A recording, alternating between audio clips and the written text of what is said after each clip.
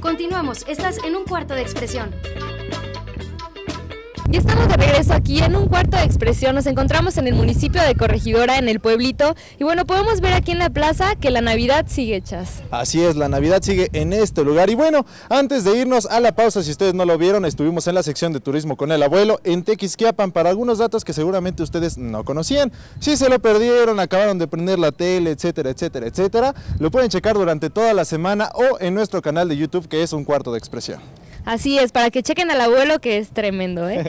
y bueno, pasando a otro tema, el INJUVE, Instituto Mexicano de la Juventud, nos trae a nosotros los jóvenes muchísimas oportunidades y temas que, bueno, están muy buenos, la educación y entre otros, para que lo chequen. Y bueno, también este año hay convocatorias que no se pueden perder. Así es, chequenlo por favor en la página que está apareciendo en pantalla. Ahora sí nos vamos con Edu Samper, que se fue al segundo aniversario de Bibliográfica. ¿Tú sabes lo que es Bibliográfica? No, la verdad no, pero las cámaras nos lo van a decir, así es que vamos a verlo y conocer un poco más de este tema. Vamos.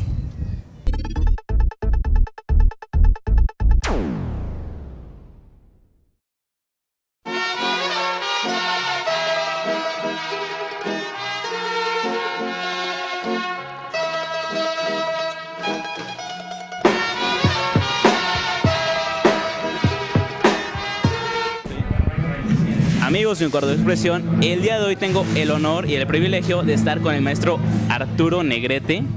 Maestro, ¿cómo está? Bien, pues bien. Aquí, disfrutando de, la compañía de todos los chavos y después de pues, mi estimado Camilo, que se rifa, está haciendo estos eventos que parece que es el segundo aniversario pero eh, me siento orgulloso que haga estas cosas porque deberíamos hacerlo los, los este, en todos lados. Así es, de hecho estamos en Bibliográfica, que es el segundo aniversario, y bueno, el maestro Artur Negrete tuvo a bien acompañarnos el día de hoy. Maestro, nos un poco, este, ya estuvimos conversando y nos comentó este, que no le gustaba mucho decir la definición de serigrafía y esas cosas. Pero para usted, ¿qué es la serigrafía? O sea, no lo técnico, para usted, ¿qué es? Eh, eh, Bien, yo creo que la, serigrafía como es manual, para mí es un, asunto artesanal. Es, artesanal, eh, se puede hacer con los recursos mínimos y después, pues bueno, te ensucias un poquito de, las manos de tinta y eso es un poquito lo agradable, te conviertes otra vez en, bueno, en mi caso como soy intérprete, como, impresor, todavía me sigo divirtiendo con, eh, interpretando a los chicos. Pero eso es hacerse las manos y, y después tener contacto con el artista o el diseñador en turno. Eso es lo emocionante, pero para mí es un asunto todavía artesanal díganos dónde hemos visto su obra. O sea, igual y a veces no conocemos quién imprime, pero lo vemos. Díganos dónde ha estado usted. No, bueno, mi taller se llama 75 grados. Ahí pueden verlo. Eh, del trabajo de diseñadores, de artistas. ¿sí?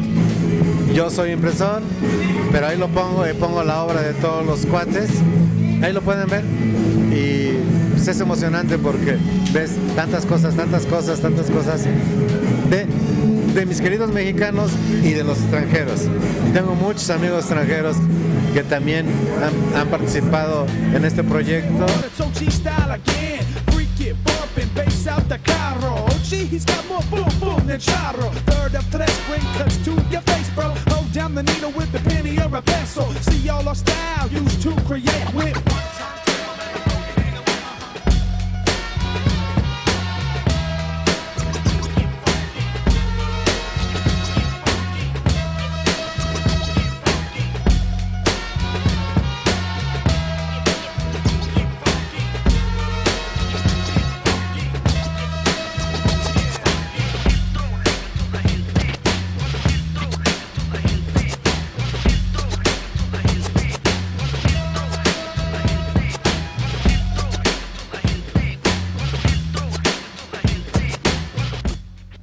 Amigos, el día de hoy me encuentro con la mente creativa detrás de Bibliográfica, que es el buen Camilo. Camilo, ¿cómo estás?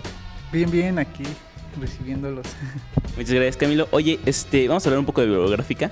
Hace unos días tuvimos este evento del segundo aniversario. Platícanos qué es Bibliográfica primero.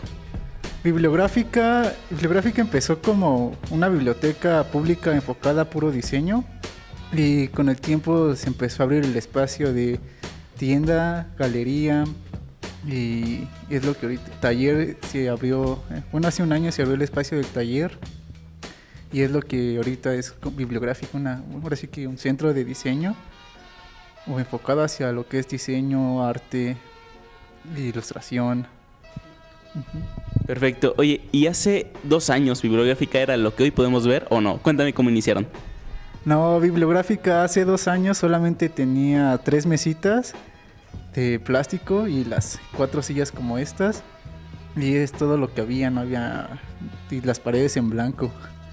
Poco a poco se fue llenando de cosas, de, de productos, de libros, de todo lo que ven. Y este, bueno, ahorita tenemos todos con una máscara y muchos no sabrán por qué es, pero justamente es esta máscara y algunas otras más formaron parte de una exposición que se tuvo por este aniversario.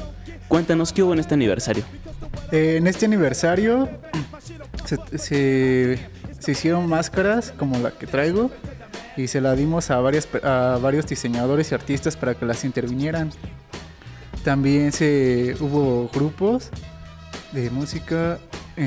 Despierta presentó su disco, su más bueno, su primer disco. Como podemos ver amigos, un sinfín de personalidades y ahora sí que de verdad mucho talento que hubo aquí pudimos encontrar en Bibliográfica el segundo aniversario. Camilo, platícanos un poquito qué sentiste recibir este apoyo de, pues, gente tan importante. Eh, de hecho, bueno, fue una gran sorpresa hasta de la gente que nos apoyó, de la gente que vino, porque superó nuestras expectativas. De hecho, no creíamos que fuera a venir tanta gente. De los artistas, estoy de los que nos apoyaron, tengo un agradecimiento muy grande porque en todo su trabajo, tanto como los que pintaron el mural, como los que intervinieron la- las máscaras, tanto de Arturo, tanto de los de Nerd, este, se esforzaron mucho y hasta en cada máscara se ve que le dedicaron tiempo y se ve que lo hicieron con gran cariño y aprecio. Bueno, la primera máscara que podemos ver es de Lili Rocha. Ella en su intervención trató de, de marcar un estilo muy mexicano de lo que es la talavera y la paloma, que también un animal. Bueno, a ella le gustan mucho las aves. Esta máscara es de Gillo, igual se la mandaron de este Saltillo y es muy igual un estilo muy mexicano, como de los paliacates que se usan. Y la siguiente máscara, este Sensor, que igual la intervino y la adornó con muchos, con muchos Mickeys. Y cada Mickey tiene una expresión diferente a otra.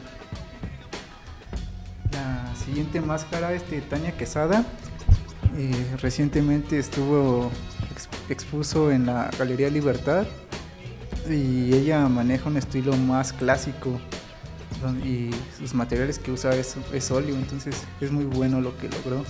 Y esta máscara, este Nando, él también fue quien intervino también el, el mural. Él tiene, bueno, hasta ahorita este estilo es con el que, el que a mí me gusta demasiado, lo, lo hace con mucha dedicación y con mucho cuidado para no maltratar el papel ya que lo va poniendo uno por uno. Como pudieron ver, talento hay y de sobra muchachos. De hecho, este, mucho de lo que podemos ver son queretanos los que hicieron las máscaras. Y ahora sí que hay que reconocer el talento mexicano, pero sobre todo el queretano. Camilo, platícanos un poco este, alguna red social que tengan primeramente o de los eventos que me quieras contar. Tú dime, ¿qué quieres platicar? Bueno, nos pueden encontrar en Facebook eh, buscándonos como Bibliográfica Cro, en Twitter como BB Liográfica y bueno, ya tenemos Instagram y también nos pueden buscar como Bibliográfica. De los eventos, los lunes y los miércoles siempre tenemos, bueno, todas las semanas tenemos proyecciones de películas. Amigos, es que ya saben, tienen una bibliográfica para que la conozcan. Pueden buscarlos en Facebook y en Twitter, la primera biblioteca de diseño en Querétaro. Yo soy Edu Samper, me encuentran en Twitter como arroba edu-samper con N. Estamos en un cuarto de expresión, continuamos.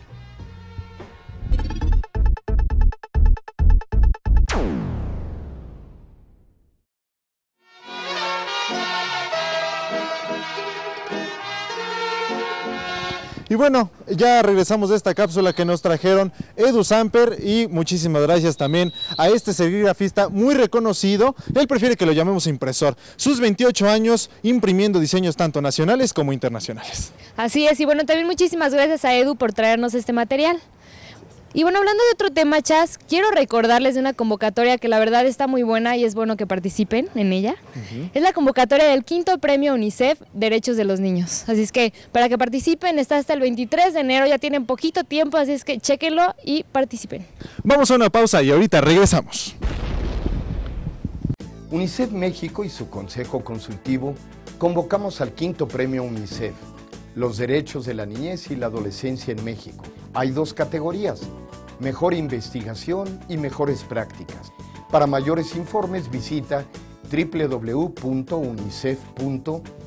diagonal México o llama al 01800 831 1803. Participa. ¿Quieres más? Continuamos en un cuarto de expresión.